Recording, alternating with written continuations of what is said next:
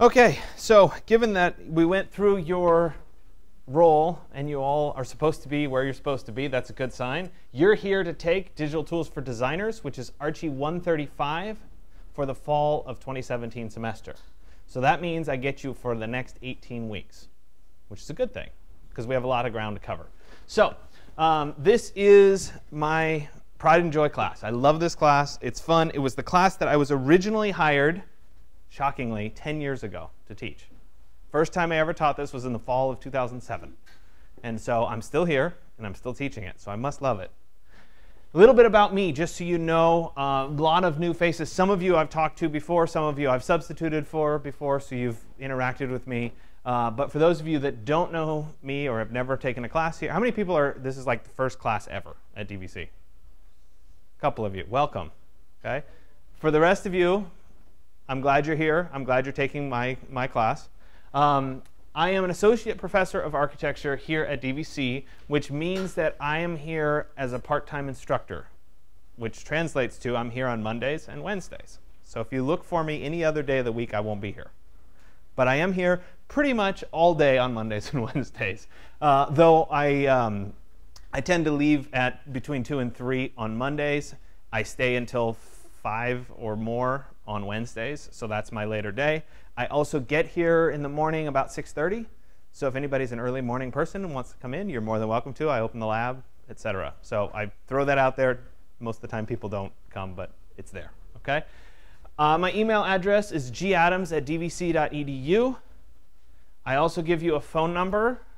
You can text me here, or you can call me.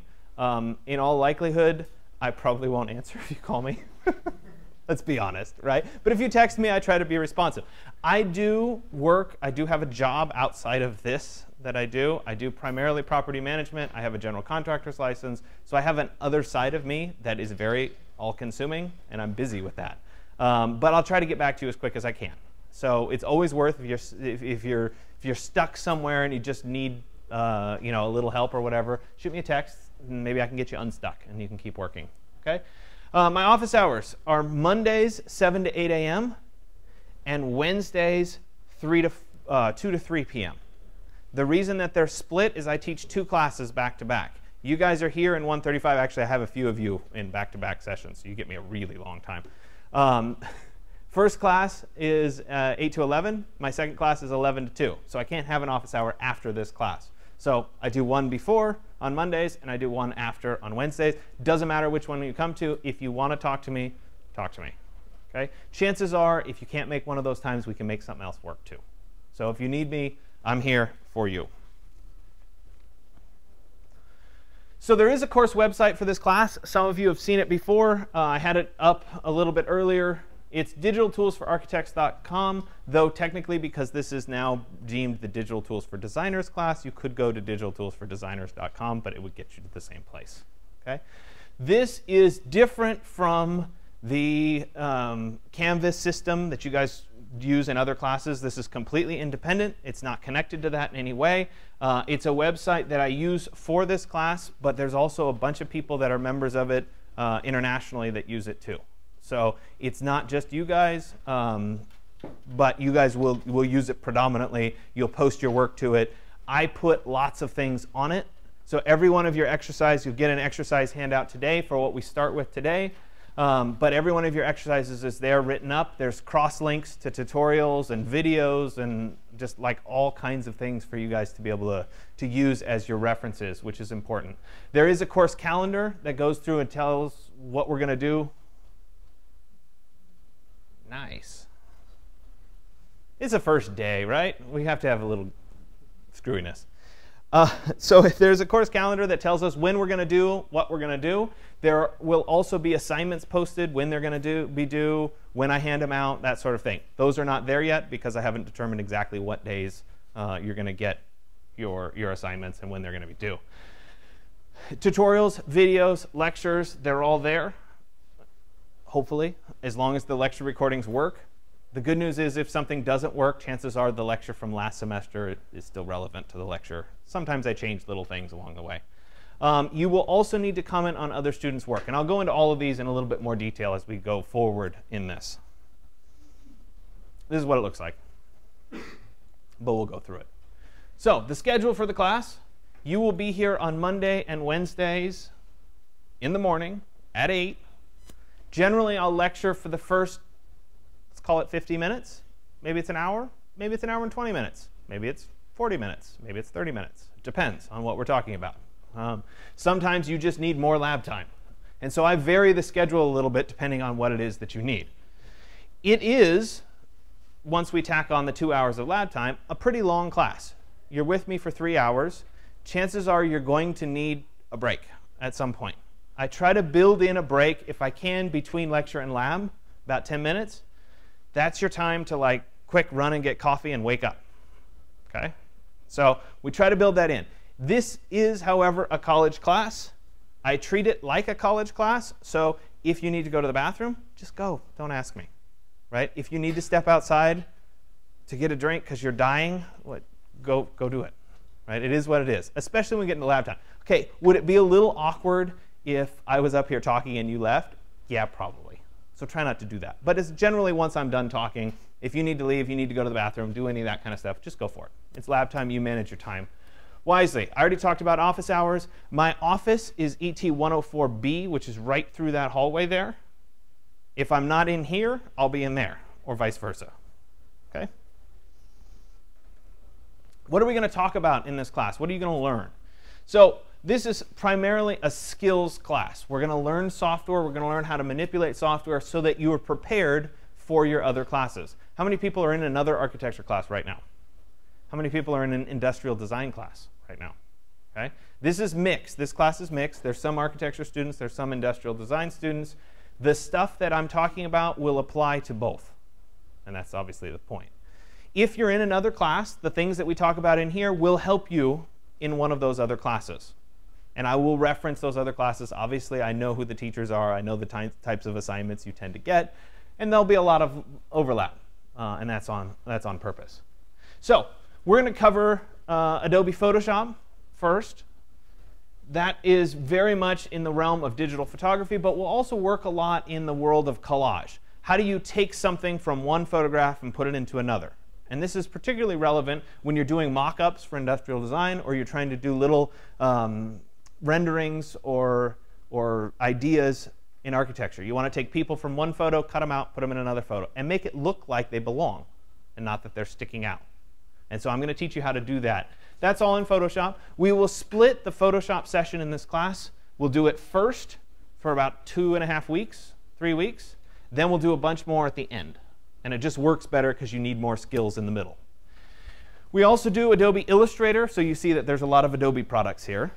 We're going to do Adobe Illustrator, which is the graphic design layout application built by Adobe. It's for posters, layout boards, that sort of thing. You guys, when I talked to you guys in industrial design last year, we did the final layout in Illustrator, which was awful. We're going to teach you to use InDesign instead. It's a much better product. Okay? So that's what we're going to use for our graphic design. Then we will do a little bit of AutoCAD. And I fought and fought and fought for this in this class. Um, and I think it's, it's particularly relevant to kind of get your feet wet with it. And so we're going to talk about some of the basics of AutoCAD. We'll do a little bit uh, of AutoCAD work. You will actually design a little cabin uh, and that sort of thing. Then we'll move into SketchUp, which is your basic 3D modeling program. A lot of you are probably already familiar with or have at least opened up SketchUp.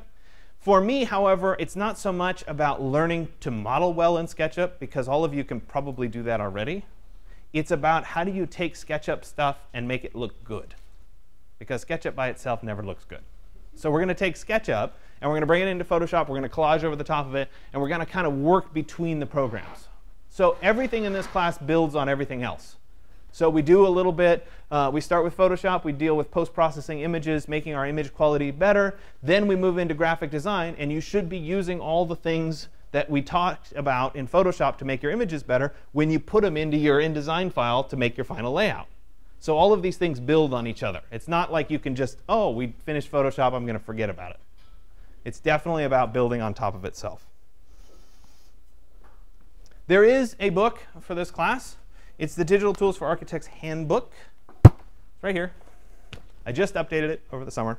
So you've got fresh stuff. Those of you that were in industrial design, the very last bit is the stuff we did in your class last year.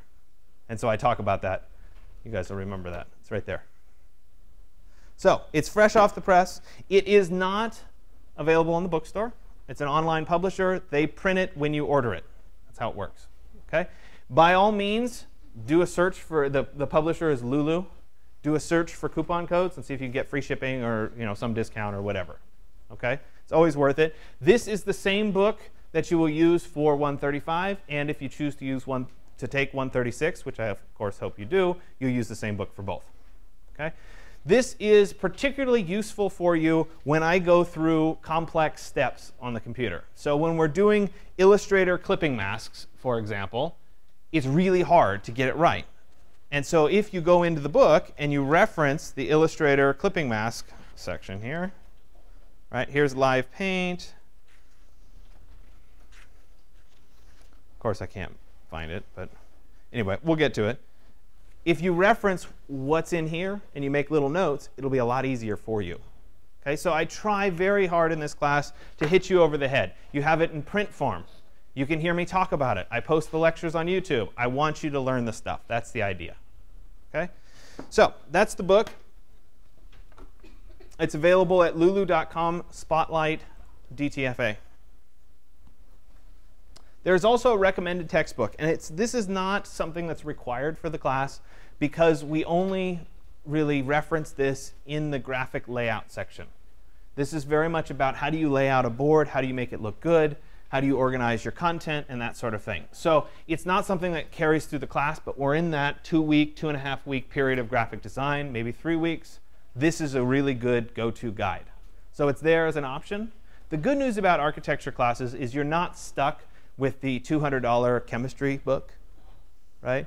You get to like spend money on pencils and like stuff like that. It's great, right? Modeling supplies. Well, in this class, there's not too much modeling supplies that you're going to need to buy. So if you've got an extra 30 bucks or so, maybe you can find it used. It's not a bad reference for you to have. So the all-important grading question. How do you get your grades in this class? There's four things that make up your grade the first part is your lab exercise, and I'll talk about what each of these mean in subsequent slides, so I'm not going to go too, into them too much. Those lab exercises are worth 20%. You have assignments in this class. Collectively, all of the assignments, there'll be six or seven assignments. I always vary it a little bit depending on your pace and that sort of thing. Those are worth 40% of your overall grade, so about 6% each of your overall grade. Then we get to a final portfolio, which is worth 30% of your grade. You turn that in on the last day, and then eat a donut. Good plan. Then we have participation, which is worth 10% of your grade. Like I said, I'll talk about what each of these mean in a little bit. The other thing that's important for those of you that are in a studio class right now, in 121 or something like that, is that this class, I try really hard to make it a consistent workload. It's not going to be like a studio class where all of a sudden I've got a review coming and I just have to like drop everything else and, and just work on that if you stay here, if you come to class, if you work in class, you should get the bulk of your stuff done.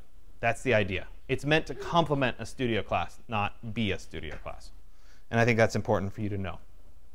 So let's talk about each of these in depth. We'll start with exercises. So like I said, an exercise is worth 20% of your overall grade for the class. And there's maybe 31, 32 total exercises. So if you do the math, they're like 3% each or whatever. They're not worth much each. The other thing that's important about an exercise is it is graded on a pass, not pass basis. You do it, you get credit. You don't do it, you get a zero. Real simple. Do it. Right? It is entirely possible over the course of the semester that you will be absent a day or two. If you're absent a day or two, still do the work. It's all online, it's still posted. You can do it on your own time. Okay? The other thing that happens is at least, I'd say 75% of you, at some point in the semester, will forget to post one of the things that you're working on. You work really hard on it, you're here the whole time, and you just like, oh, I got to rush off to a doctor's appointment, and you forget to post it. And then a couple weeks go by, and you've still forgotten to post it, and then it's there. You get a grade sheet back from me, and suddenly there's a zero there. Okay? I know you've just forgot to post it. You did it. So you just go back, post it, and it'll be fine. Okay? They are meant for you to experiment. They're meant for you to try things out. They're meant for you to learn, which is why they're a pass not pass system. If you try something and it really doesn't work, or it's really ugly, or you pick the wrong colors, or whatever, that's okay. You still get credit for it. There's a reason we have exercises to learn the skills and assignments to test how well you use the skills. This is about learning the skills. They're generally due at the end of the lab period on the day that they're assigned. So today, you'll have an exercise to do. It'll be exercise 101. You'll go through, you'll do your exercise, you'll make your post, you're done. Generally speaking, well, certainly today it won't take the full time for you to do it. But most of the time, it'll take the full time. You'll finish it, you'll post it at the very end. If you haven't finished it, post it at the end. You'll still get credit for it. The point is that you were here and worked on it the whole time. It might be good for you to keep working on it to finish learning the skill, but you'll still get credit. Okay? So let's move on to assignments. 40% of your overall grade. So this is obviously a much bigger chunk of your overall grade. These are generally larger. They require multiple skills to come together to, to make this assignment work. Um, you're going to be graded on the skills that you use, but also the overall product. You know, if it has color choice involved, for example, I'm picking on color theory for right now, you'll be graded on what colors you chose to use. If we're doing the, the um, lecture series poster, you'll be on, graded on not only were you able to use InDesign and did you create a layout, but how well did you do? Did you create a hierarchy? Is there, is there multiple depths as part of this layout? We'll talk about what all those mean and how you would do that, but that's part of your grade. Okay? You will also get a, a um, grade sheet when typically after you turn in an assignment, takes me a week to grade them, then you'll get a grade sheet back. That will be your update. I write comments on your grade sheet that tell you exactly what was good and what was not. Okay, so it's meant for you to get feedback on it and learn from it as well. With that being said, it's entirely likely that you will turn something in and it won't be as good as you wanted it to be. Happens. Okay? So you turn something in and you're like, man, I really I wanted an A on this assignment. I got a C. Ooh, that's no good. I would much rather have you learn from your mistakes than punish you for trying something. Okay? So, for each assignment, and I regret this sometimes, for each and every assignment that you turn in, not exercise, just assignment, you can submit one regrade. So essentially, I turned in my assignment, I got a C on it, it was really terrible, I want to regrade it. You will turn that in, you can turn it in at any point in the semester if you want, but I will not grade it until the very last day of the semester. So your grade exists as it is with the grade that you got on your original assignment until that last day of the semester. Okay? When I regrade it, I pretend that I never even saw your original.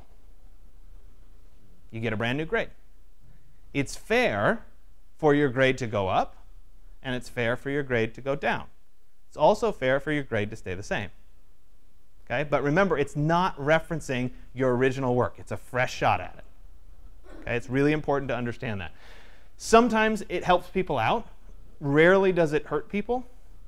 But if you intend to regrade something or submit a regrade for it, do it not at the end of the semester, do it as you go along. Because otherwise you'll get to the end and you won't have time. Because you'll be in 121 and you'll be freaking out and tearing your hair out and all that kind of stuff. Okay? So do it as you go along. But like I said, it won't show up on your grade sheet until the very end.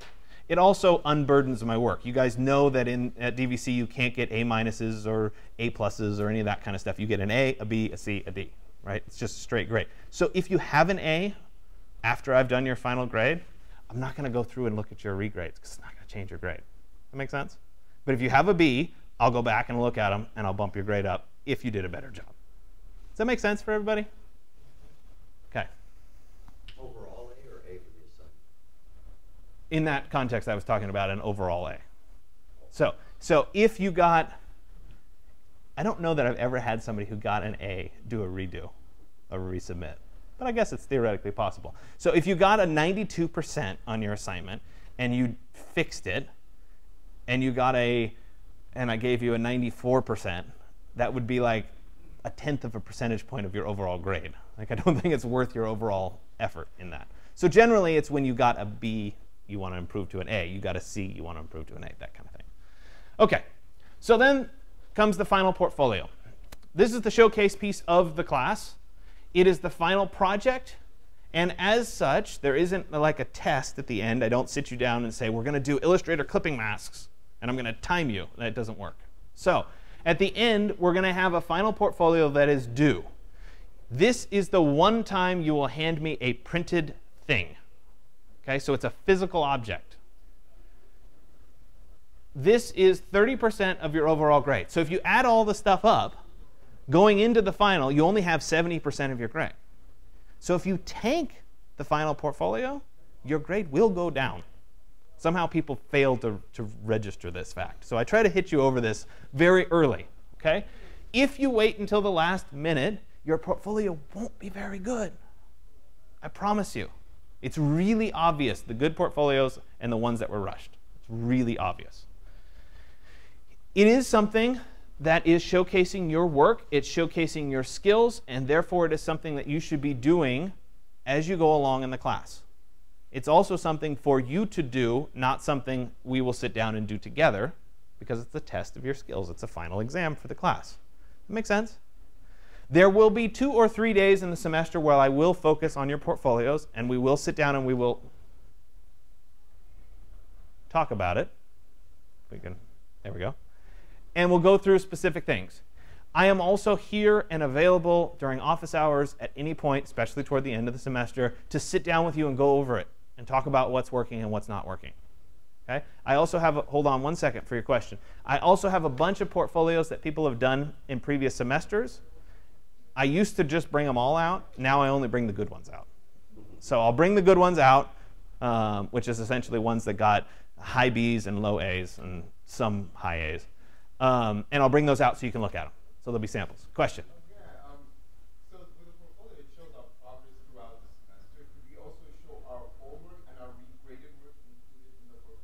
portfolio is not necessarily a progress report. What it is is it's a showcase of your absolute best work. So if, for example, and I'm going to use the architectural example because that's what I'm, I'm more familiar with. Um, so I finished my undergrad degree, and I want to go on to grad school at Berkeley. Okay, top tier architecture program. The thing that they're going to ask me for, in addition to my personal statement and all the normal application stuff, is a portfolio of my work. Okay, obviously you guys aren't applying to grad school, so you don't have that work just yet. But that portfolio of your work is really what tells those people, the, you know, the admittance people, who you are, what you do, and how good you are at what you do. So it's very much about you and showcasing yourself. So you don't want to put bad stuff in it. You want to put your best stuff in it. And that's what you're going to focus on. And so I'm going to help you cull through and whatever. For this particular portfolio, and again, we'll talk about this, you'll get handouts about it, uh, etc., as we go forward. Am I like touching something? It's like, stand back. Don't touch. Um, we, will go through it. I'll give you handouts. I'll give you specific guidelines and, and how we're going to set it up. In this particular one, you have to include your work from this class, but you're welcome to include work from other class. I am not under any illusions, however, that when you go to apply for the job next summer and you show some of your portfolio, you might want to cut a little of this class out. Right? That's, that's okay, and I understand that. But we'll talk a lot more about it. Okay, but I like to at least introduce this. This is where we're going. This is what you will have at the end. Okay. By the way, for the industrial design students, this will be tailored more your direction than it will be architecturally as well. So you'll be prepared to. Course participation. This is actually really important, and it's something that people sometimes leave to the end and don't really understand why I make you do it right? And I don't think I have anybody who was in a 136 class with me before. I don't think I recognize anybody. Okay, this is the thing that can really bring your grade down, and that's participation. So in this class, after almost every exercise, there's a few that I will not make you do. Okay, but after almost every exercise, you are going to be required to write three constructive comments to your friends, to your neighbors, about their work. Okay? When you do an assignment, same thing. Three constructive comments about each assignment. The reason that I make you do this is the design world is filled with critique, response, stuff. Okay? You go and you do a presentation somewhere. You, you work on a particular architectural project, you sit down with your client, you have to present it. You have to take criticism. They say, I don't want this. You have to figure out how to handle that. The other thing that's really important for you as a student is to learn and figure out how to articulate why something is bad or why something is really good. So when I tell you to do one of these comments, I do not want you to sit down and say, It's really pretty. I love it. Is that a constructive comment? No, not at all. Okay? So those kinds of comments don't mean anything. What I want you to do is I want you to look at it and say the graphic composition technique that you used, setting the, you know, the person at a third of the way over on the page with them looking a certain direction is really working nicely for your photograph. Maybe it's the post processing that you used on your photograph really brought out the shadows in your, your image and you did a nice job working on that. That's constructive. Maybe it's, you know, your color choice in this Charley Harper image is just not quite there. I think I'd go back and revisit which colors you chose. It's constructive feedback. And you'll notice this, right? You're in 121. How many people are in 121 this semester? Okay? So you're going to sit down, you're going to work on your project, and at the end of your project, you're going to have a review on your project. Okay? And you're going to sit down, and there's going to be some people coming in, right? Some people like me that are instructors, some people that are from the outside world, right? And they're going to sit down, and they're going to tell you why your project is crap. Well, maybe not. Maybe why your project is good. Chances are it's why your project is bad. But it is what it is. Now, if they just came in and they said, ah, this is just awful. See you later. Would that help? No, it wouldn't help at all. So it's their job as a critic to come in and try to help you become a better person, to help you become a better designer, to help you understand what's working and what's not working. And so this process of critique is absolutely critical. You need to find your own voice. You need to find your own way of doing that. And that's why I make you do this. So it might seem like, oh man, he's making me do more comments, right? That's not the purpose. It's about how do you articulate your thoughts. And you'll learn a lot from doing this. Okay, so here's the strategy for doing this. Because if you get behind, you get way behind, and then it's like, oh my God, I got to sit down for like 10 hours and write comments, and I don't have time for this. Okay? So what you do is typically on every lecture, I start lecture about 10 minutes late.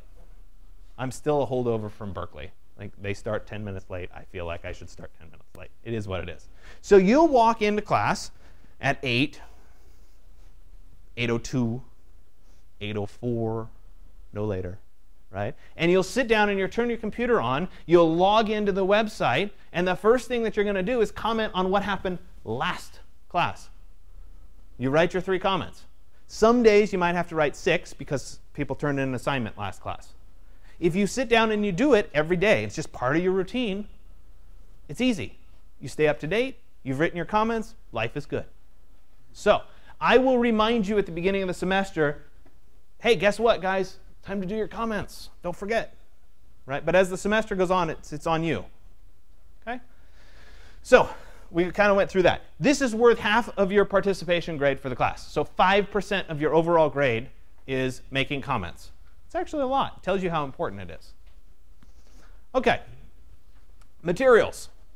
So in this class, you have to have some place to store your work. Anybody worked in these labs before?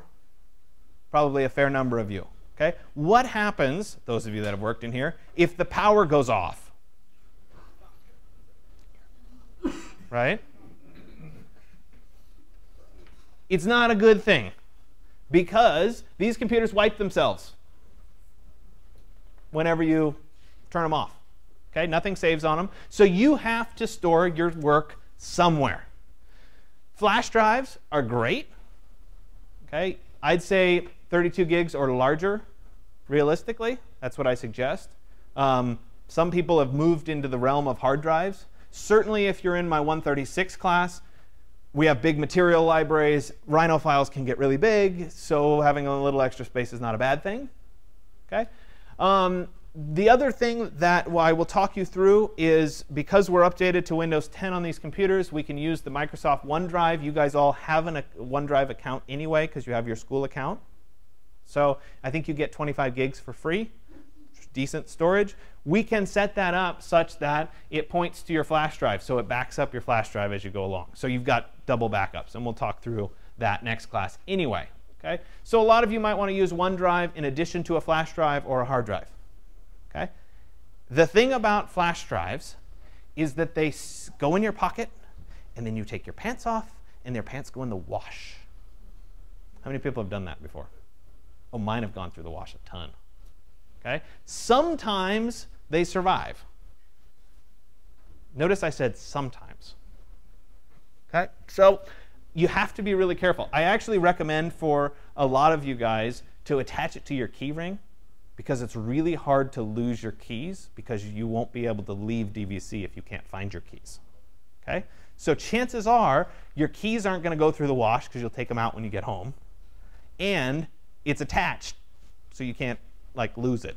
So it's not a bad idea. Those of you that move into hard drives, it's unlikely your hard drive is going to sit in your pocket and go through the wash. Okay? But they can fail too. You know, it could fly out your truck window or something. I don't know. Right? We'll talk about that kind of stuff next class. Okay? So you can't store anything on the lab computers because if they restart, they wipe.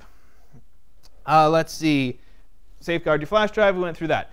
A digital camera is not a bad thing for this class. Some of you have like digital SLR cameras or higher end cameras. If you can, use that. If you don't, chances are everybody has a really good phone with a really good camera in it.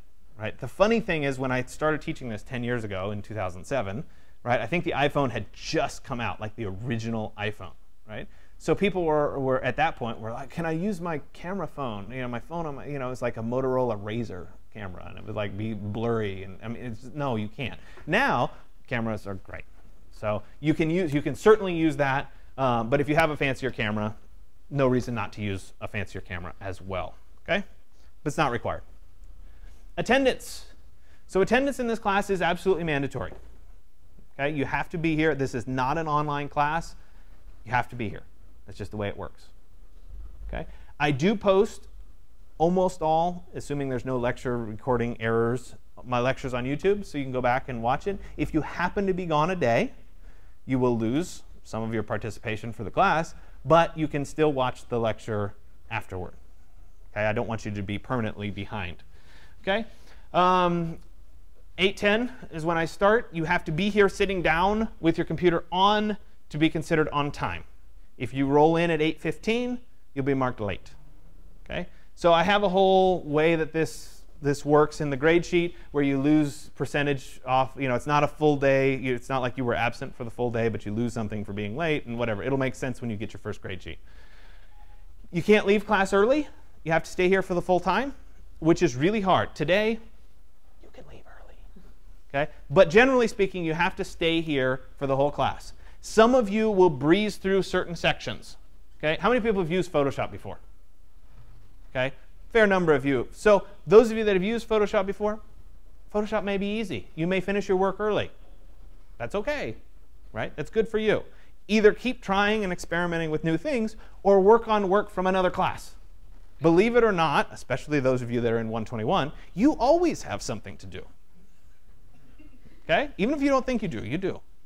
So You'll sit, keep working, right? And you're, you're free to go when class is over. Remember, class ends 10 minutes before it says it's over. So in your case, class ends at 10.50. So you're free to go. Make sense?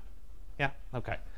Um, your attendance counts for 5% of your overall grade. A couple little quick notes that aren't on the slides about how I do attendance, okay, just so you, you know. In order to make it lively, right? I don't take attendance necessarily at the beginning of every class.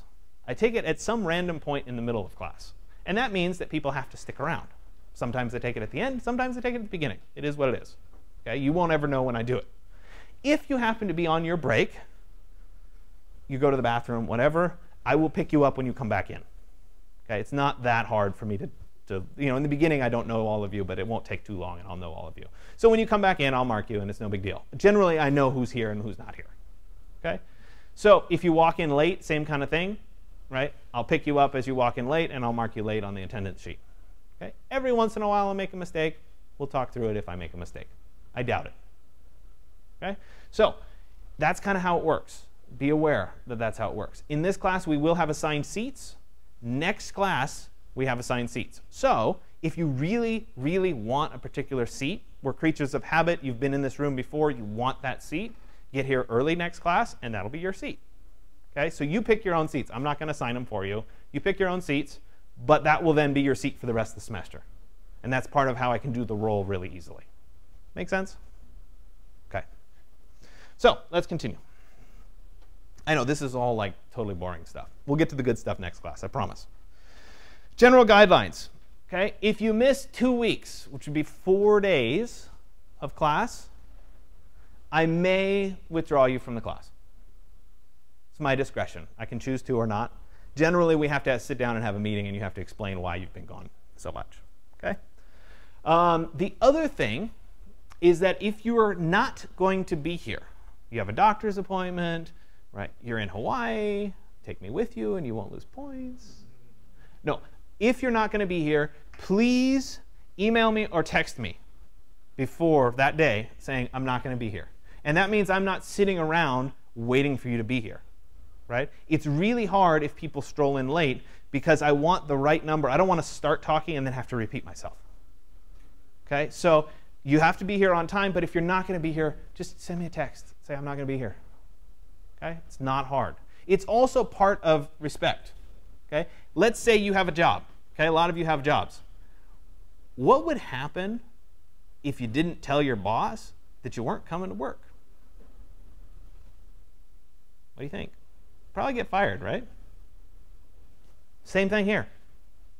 Tell boss, I'm not going to be there. The good news is I'm more lenient than your boss. Your boss probably would fire you. I'd say, like, okay. Okay? So, it's important. Let me know if you're not going to be here. Okay. Yeah, you also get some credit. I told you I have a complicated spreadsheet that, it, that gives you this percentage point. You get a little bit of credit back if you give me a notice.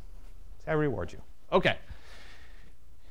If you don't complete your work, guess what? You're not going to do well in the class. Shocking. Okay? So, you might be dropped, or you might receive an F. Okay? I like to, to put this out. And I know this is it's terrible. On the first day, it's 8 a.m., first day of class, and here's this guy sitting up here talking about doom and gloom. Okay? But I have to warn you guys about this.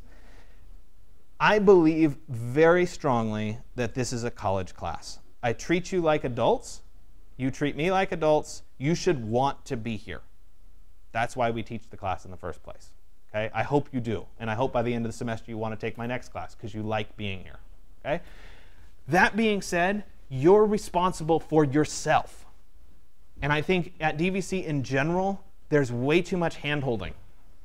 Okay? If you move on to Berkeley or Cal Poly, there is not going to be somebody holding your hand saying you should drop this class, right? They're just be like, yeah, whatever, I don't care about him.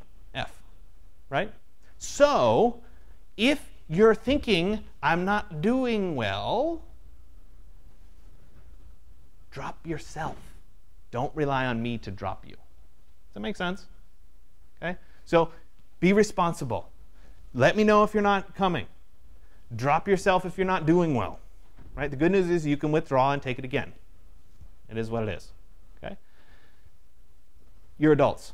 I'll treat you like that. You treat me like that. Life is good. Fair enough? Okay. Enough doom and gloom. I'm sorry. I just have to like beat you over the head with it in the beginning. Okay. So due dates for your assignments.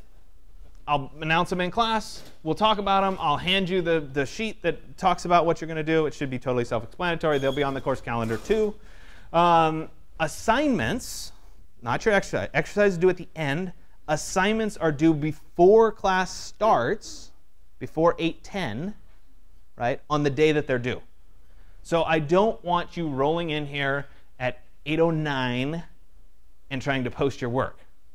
Because then you won't listen to anything that I say because you're trying to post your work and write your comments and whatever. So you have to focus on me. Therefore, it's due before class starts. If you turn it in after class starts or the next day or whatever, it's subject to the late work policy, which I'll talk about in just a second. Okay? Uh, exercises due at the end. there's no late work policy on the exercises. You do it, you get credit. Remember, pass, not pass. Do it, you get credit. So, late work. Assignments, I say exercises, yeah, whatever. Okay? Assignments, however, I'm very strict on this. Assignments, if you turn in something to me after 8:10 on the day that it is due, it will go down by one letter grade per class. So even if you turned it in to me at 8:11 on the day it was due and you had an A, it immediately goes to a B. Does that make sense? And I'm really strict on this because in the world of design, we have deadlines. You have to turn something in to the city staff because you're going to go on a design review commission or a planning commission hearing. You have a specific deadline when you have to turn something in before they can publish the report and whatever to give proper notice for the meeting that's going to happen. If you don't turn your stuff in, you don't go on the meeting. It's part of life. So we do the same thing here. It's due, it's very strict. So you can do the math. If it's four days late, you're down in the F range, 50% range ish. Okay. The good news is if you turn it in regardless after four days late, you will get a cap 50%, which is a whole lot better than a zero. So you better just turn it in. The other thing is you cannot make up for the late penalty when you do a regrade. Okay, so if I if I turn something one day late and I got a C on it, 10% down, I now have a D on it. I do a regrade and I do A quality work, that 10% still comes off. The max grade I can get is a B. Does that make sense? So you can't make up for late work. So if it's 8 a.m., if you haven't had enough coffee, here's the trick. Okay? Turn in something on time and do a regrade. Light bulb! Right? It's more important to turn it in on time. So don't be late. Just don't ever be late. It's really easy. All right. More general guidelines. So there are 32 of you, and there's one of me. There will be times when you really need to talk to me, and I get that. Okay? But instead of doing this and waiting and waiting, okay? Look to your neighbor. Hey, do you know how to do that clipping mask thing? You might know. And it's a lot better to do that than to fall asleep and waste your time. Okay? So ask your neighbors, right? There's a book, there's videos, it's all there. So look at that stuff. That doesn't mean that I don't want to talk to you. I can't wait to sit down and talk to you. I like teaching this stuff, okay? But it takes me a long time to get through everybody. So if everybody's stuck and you're just waiting for me, it's a waste of time. So ask your neighbors, because chances are they might know how to get you unstuck, which is a good plan. Okay, so I strongly suggest you take notes in this because it will help you. There might be a little trick that you don't understand. You put a little note in there, then you go back, you're at home. What did he say? Oh, yeah, I remember. And that sort of thing. Okay? So I work really hard to record and post every one of my lectures. And there's a lot of them on YouTube by now. Um, if you go to YouTube itself, youtube.com slash digital tools for arch, they're all there. You guys in this class in 135, everything starts with the 100s. So it's exercise 101 today. It's lecture 101. Okay? 136, everything's in the 200s. So you guys just need to focus on the 100s for this class.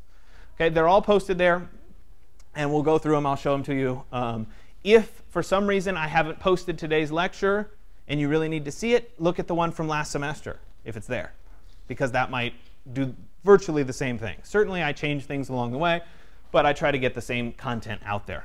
Okay? Watching the recordings is not the same as being in class. Because if we're in class, you can raise your hand and say, wait a minute, I didn't understand that. Can you do that again? If you watch it later, you can't do that. You can't ask me a question. So you do have to be here so that you can ask questions. Um, everything the in the class is licensed under a Creative Commons license. Share and share alike. If this is something of concern for you, you can talk to me about it. Doesn't really matter. It's just something I have to put in there. I actually, this was probably seven years ago, I had a student who really had issues over rights. And so we talked about it. He still did the class.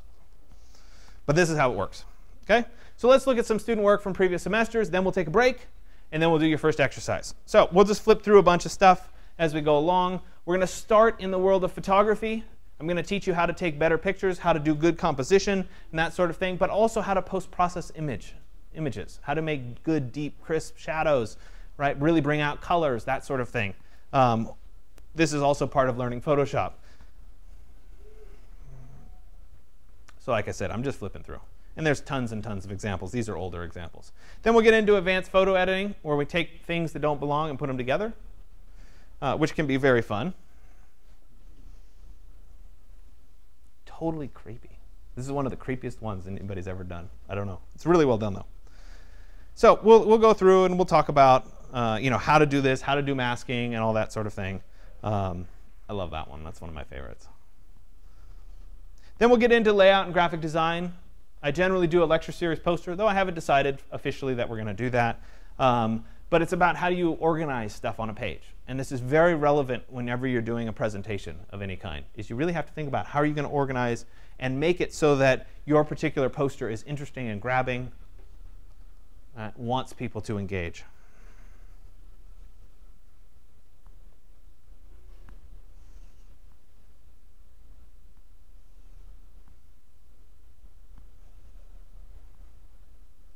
Then we'll get into some AutoCAD.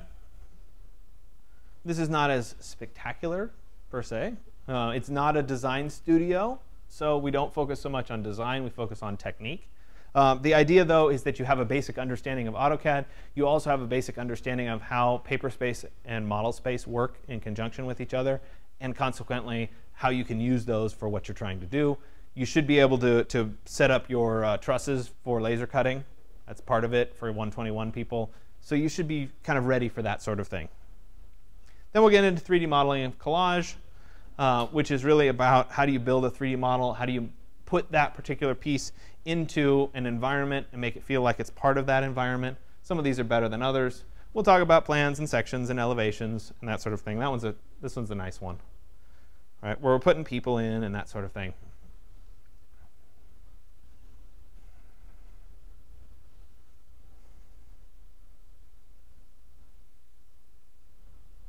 So I'll end by asking what you will create. And I think this is one of the fun things about this class. So having taught this for 10 years, I can tell you that every semester is different. And it's partly because you guys are here. And you guys are different than the people I had last semester. And that's really cool. And that's part of why I like it and why I'm here teaching you is because I get to interact with different people every semester. And you guys bring different ideas to the table. I get ideas from you. You get ideas from me, I hope. And we all become better. And that's part of, part of this class and part of learning this process. Generally speaking, the semester trajectory is very similar, but I reserve the right to change things or throw different things at you, throw experimental things at you, and whatever. Um, so right now, I don't have any crazy stuff planned, but you never know.